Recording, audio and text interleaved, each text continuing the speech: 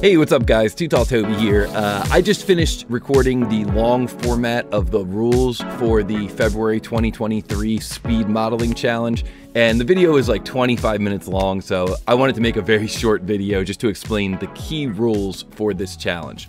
So the challenge is that you go to tootalltoby.com and you go to the tab that says leaderboard, and you're going to be challenged to create these three parts. Now, if you want to get a preview of what those three parts are, you can click on this uh, image here, and that'll take you right to my IMGUR where you'll see the three drawings. You're to practice, practice, practice, and now you are ready to officially make a recording of yourself speed running these models. Well, before you do that, you're to scroll down a little bit and you're to find this button here that says compete.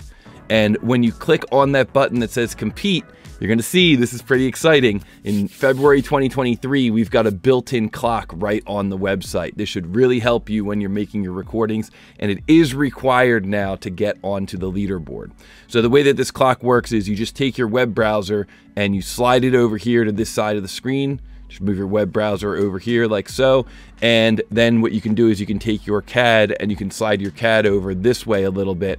And then you can hit record in order to start recording your times. Here's the answer for the first model, the second model, the third model, just for your reference. And once again, there's a link here to take you to the IMGUR if you want to look at those uh, 2D prints that we created for this challenge. So once you've done your practice and you're ready to actually do your submission, this is what your screen should look like. You should have your CAD on one side, you should have the timers on the other. You're gonna click start, and then you're going to click new and create your first model. So the model for that first challenge, a dovetail stop, looks something like this. All right, good. I'm done with that model. So I'm going to say click here when you're finished with model one. That gives me a time of 13 seconds for that first model, but you can see the clock is still running here and you can see I've got a total time down at the bottom. So I better get started with my second model. So I'll go new, make a part in millimeters. This part looks like it's going to be a revolved uh, part for that. I think it's a, a tool holder.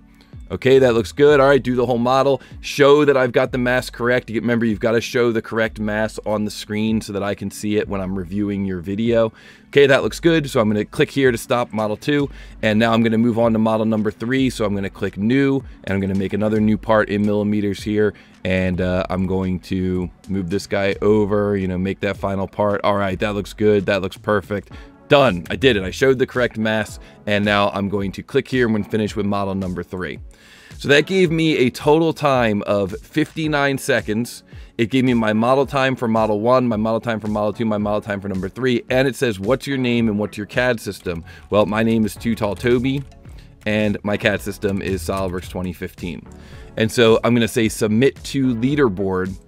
And when I do that, you're gonna see, this is pretty cool, boom, it scrolls down, it shows you the leaderboard, and it shows you your submission but you'll notice that all three of these times are not verified.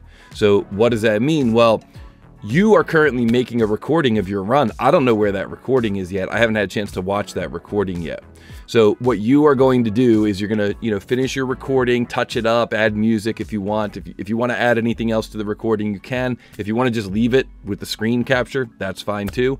And then what you're going to do is you're going to go to this video. This is the the synthwave video, uh, the the February 2023 challenge video, and you're gonna uh, add a comment to that video. And in that comment, you're gonna say something like, "Hey Toby, here's my video. Take a look." And that's gonna have the link to your recording. Maybe you post it on YouTube or LinkedIn or Reddit, wherever you want to post it. It doesn't matter. All right, and so then I'm going to take a look at those comments. I'm going to see that link. I'm going to watch that video. And if everything looks good, what you'll see on the leaderboard is this. So now we can see that next to my name, Too Tall Toby, my video has been verified, which means that I saw the video in the comments. I watched the video, I confirmed that all the rules were being adhered to, and the video link is listed here. And uh, that's basically what the process is. Uh, not a super short video. I thought it was going to be a little shorter, but I hope that all makes sense. Uh, of course, if you haven't done this challenge before, I encourage you to go through and read all of the rules that are at the bottom here. Uh, this video that I submitted on the leaderboard, the Too Tall Toby's video from February, has all the updated February rules as well. And uh, of course, if you want to watch somebody else running this thing from last month, all the videos from last month are still up, and you can click on those links and you can watch those videos videos of uh, our amazing runners from the January challenge. But uh, that's pretty much it for this challenge. I hope that this was helpful, having the rules a little more condensed. Let me know what you think. Let me know if you have any questions. And of course, good luck to everyone. I'm very excited to see the times that people are able to put up in this February speed modeling challenge.